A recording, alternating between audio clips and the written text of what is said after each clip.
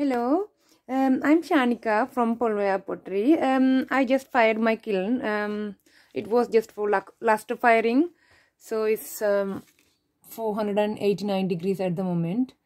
Uh, this is the controller that will be um, configured for the Cromartie 135. This one. I fired this kiln on the 6th, which was Sunday afternoon yes sunday afternoon. Uh, i have written records. So um, i would like to teach you how to program this controller. It's a Bentrup uh, tc60 it's fully working and it has five programs. And um, i have last program which is this one which i just fired to 717 degrees. And um, i have uh, also two two biscuit programs and one or two glaze programs as well. So yeah. So let's put it here. Where my wheel is. I will switch it off now. Let's switch it off. This is where it is plugged. And that the that is zone controller. That means it's um, it's more expensive type of um, cable and um, Harting socket which will be changed by our engineer. So uh, this will not be coming anymore because I will I might keep this one. And so he will be putting new new um, Harting plug and sockets for the Cromartie 135 liter kiln which this controller I will have to put. So um, if you would like to it's uh, as I said 489 5 degrees now. So to um, press the program that's the program number three. You can see it says seven uh, seven one seven. And there are nothing else. I wanted to i wanted it to full fire at that temperature anyway. Um, so this is program number three four five back to one two three four five back to one. So we press program and then you press this button which will mean the first ramp let's go back. Right yeah this this is um sorry this is not first ramp this is delay. If you would like to delay. And this is skip. I want i don't want a controlled cooling. Skip. Second one this is delay now. Did i get it right? Hopefully i got it right. So um let's press program again. 1000 degrees which is maximum temperature which will be the uh, the second button from the last as you can see. 1000 degrees is maximum de degrees mm, of temperature. And then press that button again and that will say oh, oh sorry that will be soaking now. So it will ask if you would like to be soaking this kiln at that top temperature of uh, 1000 degrees. And that's mm, the last one uh, controlled cooling. No we don't i don't want controlled cooling. And uh, now it is the delay. So i don't really want delay at the moment. So you can press up you see and down if you would like delay. Sometimes i do put delays when i when i um, want to go to bed and i would like to like, like the kiln to be starting about two o'clock in the morning. So if if that is the case i would do a delay. So um if you want a delay uh, oh that is 75 degrees. This is the first ramp 75 degrees per hour. The last button from here will be illuminated. From um, the left it will be the second button okay?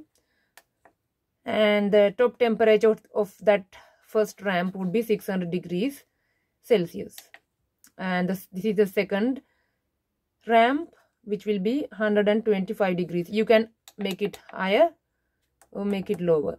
That is the temperature I fire my biscuit wares and then press this button again that's maximum temperature of 1000 degrees. And press that button again zero. I don't want soaking. If you can put soaking here excuse me press down not soaking. And then that's finished. Once you do that as you can hear as you can hear my contact of my kiln is so loud. I can hear it upstairs when it is on. So it's on at the moment. When it is on you will see this button illuminated and it will go up and up. And once it finishes it will go this one will be illuminated. Okay it's a very simple program. So to switch it off switch it off. And um, program again. If I go to program number two so press the forward arrow zero. First load is zero. Um let's see. Second one is skip which is um controlled cooling. Uh, third one is the delay. I don't want delay. And the fourth press is 25 degrees. I think this one is a drying program which i i said. And fourth press is 300 degrees which is first ramp 25 degrees per hour it will go up to 300 degrees. And then 30 degrees per hour second ramp is press the button again 350 degrees. I set up this program because I wanted to dry some um, pots before I um, biscuit fired them. So and then the soaking was nothing. And then the co controlled cooling is nothing too. And that's it. Back to um, delay start and press the start button it will come on again. And that was program number two. And program number three let's see. Oh, the program number three was my um, last firing. Program number four was let's see that's the that's my glaze firing which i fired the other day on the 6th of february 2022 uh, so this was the top temperature of um, um, how much the kiln is going to be firing how hot and it will be soaking for 15 minutes. This is the exact temperature mm, program i used on the 6th 15 minutes it will be soaking. You can make it higher or make it lower. And um, skip cooling. You can make it cool. Ah. Oh i see. Yeah. Okay. So i just need to press the down arrow button. You can make it cool uh, cool um, controlled cooling in fact or just as you press that it will say skip. That means it is not going to be controlled cooling. Uh, if you want it can controlled cooling for things like uh, crystalline firing. So this can only be done at the end of the firing by the way. This is not a, um, like a stafford that will cool or um, do a soaking at a certain temperature and then drop back down something like that. This is this might not be suitable for glass I have not fired any glass in here at all. So um, the control cooling skip and the next next press button this one. Um, next will be delay. If you would like delay, you press delay. If you don't, just press that button. Press that button again. That's 150 degrees per hour first ramp. It's going up to press that button again 600 degrees maximum. So that will take uh, 4 hours. 4 hours to reach 600 degrees. And the second ramp is press that button again 200 degrees. And press that button again 1240 is the maximum temperature. So from uh, 600 de degrees it will uh, start to jump up to 200 degrees per hour till it reaches top temperature of 1240 plus 15 minutes soak. And that's it. Skip again. And that's it and um, as you can hear just now it's a started to hum.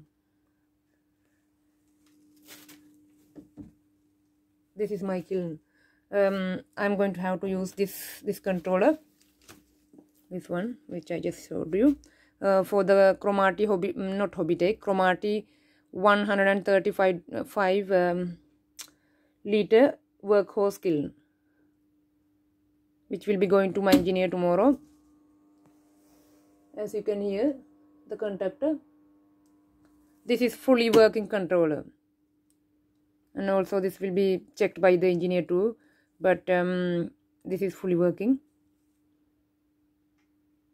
I've been using the, this one for several years had absolutely no problem whatsoever. It's a wonderful kiln controller. I will switch it off if you want to switch it off that's the con contactor really loud as I said. Um, I hope you understand how to use this controller. Uh, unfortunately, there will be no instruction manuals, but it, you just need to get used to it. I didn't know how to use it before, but I just um, got used to it really just by um, using it. Thank you very much indeed. Bye bye.